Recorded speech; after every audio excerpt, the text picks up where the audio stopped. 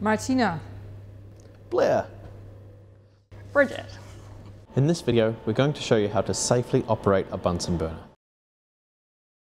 This is a Bunsen burner. While they come in a variety of designs, the setup and operation is essentially the same.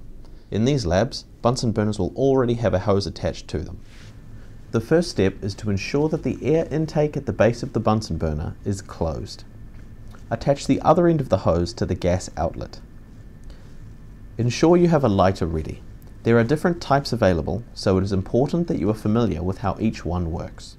For a spark lighter, squeeze the handles together repeatedly until sparks appear.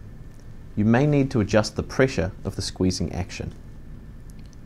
For a wand lighter, you may need to press the safety with your thumb. Holding down the safety, pull and hold the trigger with your finger until a flame appears. Turn on the gas and use your lighter to ignite the Bunsen.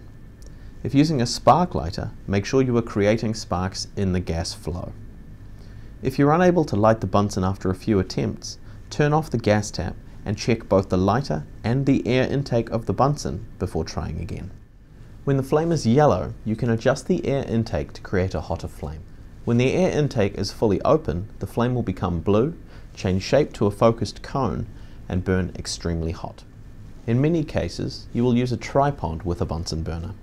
This tripod should be topped with a gauze pad if heating a flask or beaker, or a clay triangle if heating a crucible. It is generally a good idea to set up a tripod away from the Bunsen burner and move the burner underneath the tripod once it has been lit.